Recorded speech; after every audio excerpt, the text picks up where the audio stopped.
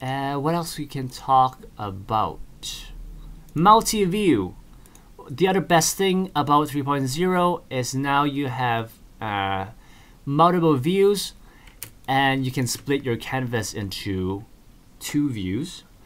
Now, the reason why uh, click on this side, everything is disabled over here is because this side is a animation project. And as I said, if you are do working with the animation, um, a lot of stuff has been disabled and you should be working with a timeline only. So let's open up the timeline. Timeline. There you go.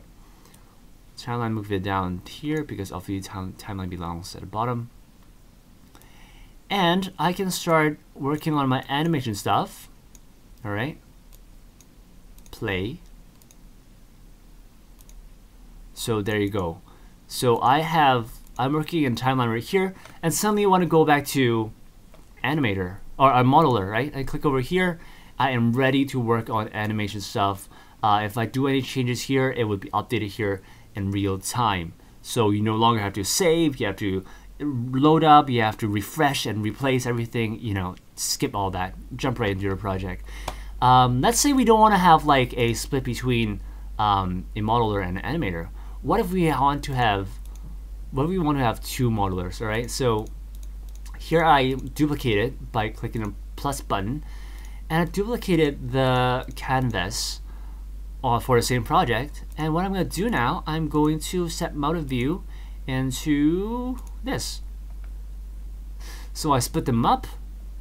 I can split them up this way. I can split, split them up this way.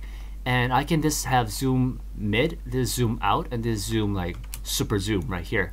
All right, so I can be working simultaneously among these three parts. I, I don't like, it's in.